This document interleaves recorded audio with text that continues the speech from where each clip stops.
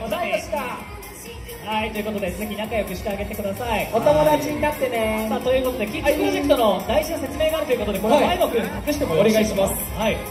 はい、このキッズフェスティバルなんですけれども、実は BSN が行っています。BSN キッズプロジェクトの活動からまず生まれたイベントでございます。